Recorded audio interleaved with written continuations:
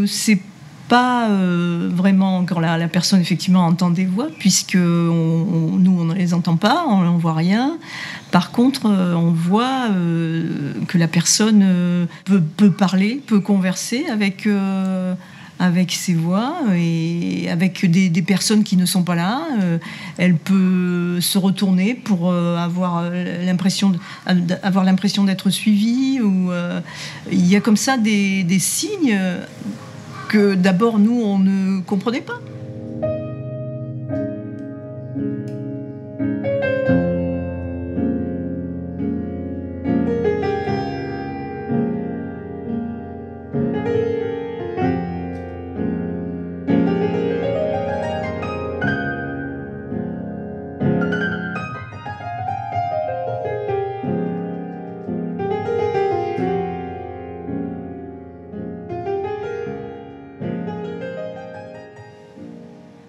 S'appelle le, coup de tonnerre dans un ciel serein. C'est-à-dire qu'on voit, on se doute de rien, on voit la personne peut-être un petit peu taciturne, mais sans plus. Puis tout d'un coup, il y a un changement euh, de, de, de, comportement. Euh, puis les, les, résultats scolaires qui s'effondrent, euh, voilà, etc. Alors que c'est quelqu'un, enfin pour notre fils, c'est quelqu'un qui est très brillant, qui était très brillant, quoi. Et donc il y avait visiblement des, choses qui allaient, qui allaient pas du tout. Et l'entente de voix, en fait, elle y était depuis bien, bien avant. En fait, après notre fils, on l'a interrogé, mais elle, elle, était, il, entendait des voix depuis déjà pas mal de temps, mais il ne le disait pas. Il euh, n'osait pas l'exprimer. Et puis j'anime aussi le groupe de parole. Euh, pour les familles au sein d'une femme. Et euh, ben, avec Marianne, on, on, on a voulu s'occuper de créer ce, groupe d'entendeurs de voix parce que je suis même moi-même concernée par un, par, par un fils qui, qui, est malade aussi. Donc, euh, donc euh, c'est un univers qui, m'interpelle, qui m'intéresse. Donc j'entends des voix.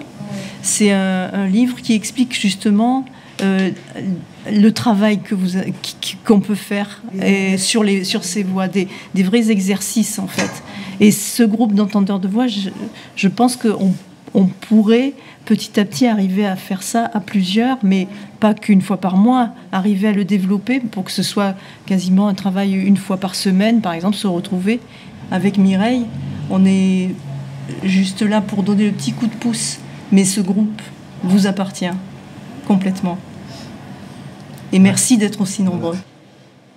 Le but de ces entendeurs de voix, c'est justement qu'ils se filent des tuyaux entre eux, qu'ils s'entraident, euh, et qu'ils a de sorte d'arriver de mieux en mieux à gérer leur, euh, leur, perception et vivre avec. Les médicaments euh, abrasent les voix et ça suffit pas, c'est largement pas suffisant. J'entends des voix sporadiquement, mais je suis surtout comment dire, très angoissé régulièrement, et donc je suis là pour parler de ça, entre autres. Mais je ne sais pas d'où il vient, c'est peut-être un effet de notre cerveau, ou bien autre chose. Mais maintenant, j'ai deux mondes. J'ai mon monde à moi, et j'ai le monde parallèle qui me suit. Mais ce monde parallèle-là n'a plus d'effet sur moi. Pourquoi? Parce que je l'ai connu, et je me suis dit que ça n'existe pas. Ou si ça existe, que je peux le maîtriser. Comment le maîtriser? En me maîtrisant moi-même, comment me maîtriser moi-même en pensant à autre chose quand je commence à voir ces pathologies-là?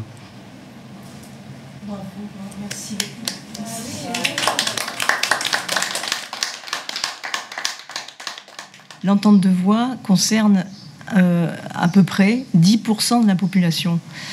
Euh, donc une personne sur 10, c'est énorme. Le but justement des groupes d'entendeurs de voix, c'est plus de parler de maladie, mais d'expérience et de positiver donc euh, ces expériences-là. Dans ces échanges-là, il y a des personnes qui ont témoigné de, euh, la, façon dont ils arrivaient à gérer euh, leurs hallucinations et à en faire même quelque chose de créatif.